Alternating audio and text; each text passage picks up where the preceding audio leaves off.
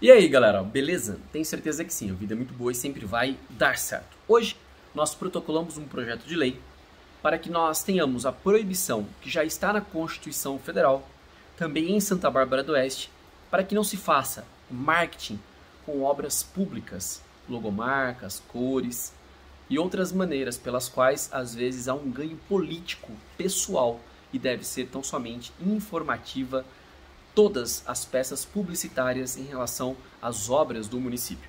Também hoje fizemos uma indicação para a prefeitura para que os alvarás para a construção de empreendimentos horizontais possam ser dados de forma online. Existe em Campinas uma plataforma chamada Prova Fácil, que é um exemplo que pode inspirar Santa Bárbara do Oeste. Temos muitas reclamações da demora para alvarás para construção. Hoje foi o quatrocentésimo 63º dia de mandato.